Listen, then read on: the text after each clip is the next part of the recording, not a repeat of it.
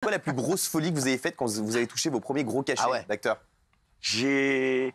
Luc Besson m'a permis d'acheter un appartement euh, à Boulogne, en Non. face du bois, Ah ouais? que j'ai tout cassé dedans.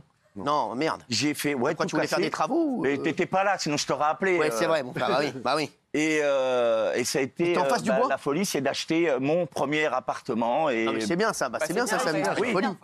C'est pas une folie. Non, une fois, bah si, c'est une folie pour moi. Ah, J'habitais dans bien, les quartiers, moi, à Oui, non, mais, Montreuil. non, mais c'est bien. mais C'est pas. folie Ah, tu veux dire folie Voilà, c'est ça. euh, Ouais, euh, la ça fête, rien, danser quoi. sur les tables et Ouais, tout ça. ouais. Mais ça, on le faisait tous les soirs, ça. C'est pas des folies. Ah. Non, euh, j'en ai pas des comme ça. C'est peut-être euh, voyager, partir à l'étranger, des choses comme ça. euh, euh, partir avec ma chérie à l'autre bout du monde, euh, aux Seychelles, j'en sais rien. Voyager, euh, découvrir le monde. Parce que je faisais quatre films par an et parce que. euh, Tu euh, gagnais beaucoup d'argent à l'époque Ouais, beaucoup.